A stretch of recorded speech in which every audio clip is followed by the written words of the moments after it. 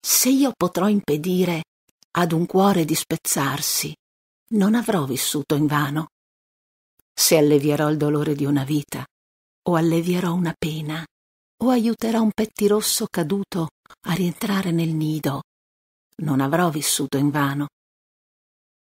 L'oggi è lontano dall'infanzia, ma su e giù per le colline tengo più stretta la sua mano che accorcia tutte le distanze. I piedi di chi cammina verso casa vanno con sandali più leggeri.